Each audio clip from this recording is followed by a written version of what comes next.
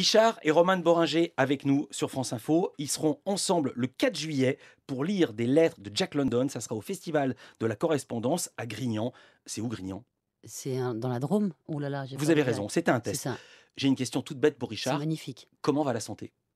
Elle va, elle va, elle va. la Eh, Vous avez eu un petit souci. On va dire vous avez eu un cancer. Vous ne Ouais. voulez plus entendre ce mot. Cancer du Non, système non, nerveux. non, mais vous c'est dites pas- accident. Oui, je dis accident, Pourquoi? mais euh, c'est pas, c'est pas, on a eu un cancer.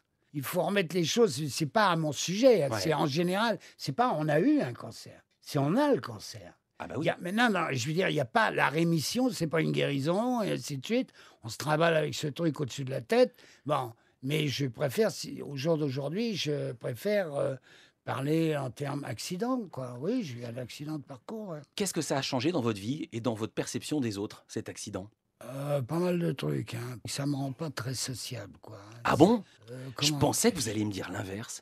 Que vous alliez me dire ça m'a ouvert dépend, aux hein, autres. Ah, ça Non, qui. m'a- ça, ça m'ouvre au regard.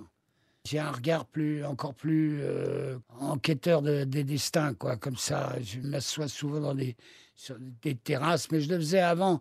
Mais là, maintenant, je, je chope vraiment des trucs et euh, je trouve que la vie est pas drôle pour les gens, quoi. Ça, ça, ça, c'est un constat. Ah ouais? Oui, Vous avez quel âge en vrai? En vrai, Ouais. 76 ans. Et vous avez quel âge dans votre tête? Avant d'arriver, vous m'avez dit Waouh, ça fait bizarre d'avoir 76. Dans Ouais. votre tête, vous avez quel âge? Je sais plus puisque je j'ai plus la même existence. J'enjambe plus euh, euh, l'espace. Hein. Je veux dire, je, je vis. euh, Je veux dire le sens de ma question. Moi, dans ma tête, j'ai 17 ans. Vous, vous avez quel âge, Roman, dans votre tête? Petite soixantaine. Mais dites pas ça de votre Non, fille non, non. Euh, je suis moi, je traverse la, la- la quarantaine, hein, enfin un peu plus même, hein, Ouais. 43.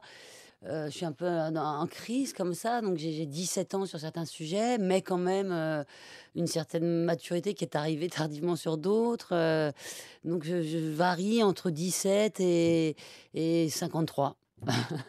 non, entre une extrême maturité à certains trucs et une extrême euh, infantilité euh, sur d'autres. Un mot de politique, Richard, je vous en parle parce que dans le Figaro, vous disiez la campagne présidentielle, c'est le vide absolu. Je regarde comment ce beau linge batifole dans la mare au canard. Personne n'a trouvé grâce à vos yeux. Non. Et Roman?